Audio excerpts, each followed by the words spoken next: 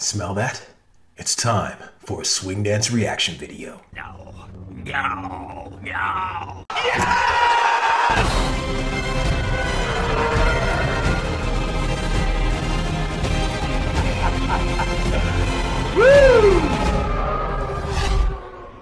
Greetings and salutations. Welcome to Street Smart Swing. My name is Jamin Jackson, also known as the Galactic Swing Dance Umpire!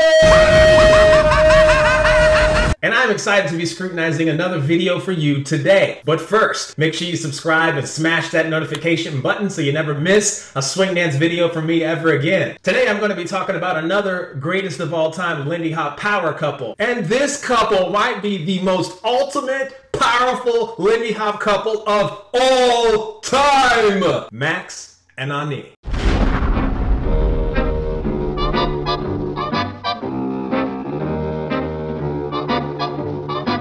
I know, I know, I'm not supposed to talk about Max. Listen, I can make an entire video on the consequences of a person's bad behavior and how it has an impact on their artistic legacy. And I am not going to do that today because this video would be over an hour long. On a serious note, everyone must ask themselves a very serious question. And that is this. Should I erase people's artistic legacy because of bad behavior? It doesn't mean you endorse what they have done or that there should be consequences for their actions because there should be consequences. Whatever your answer is for yourself, it must be consistent. Or you'll end up like this. Should I continue to listen to Sidney Bechet because he's an attempted murderer? Should I smash all my Billie Holiday records because she was a dope dealer? I stopped doing Lindy Hop because it was named after someone who was a Nazi sympathizer.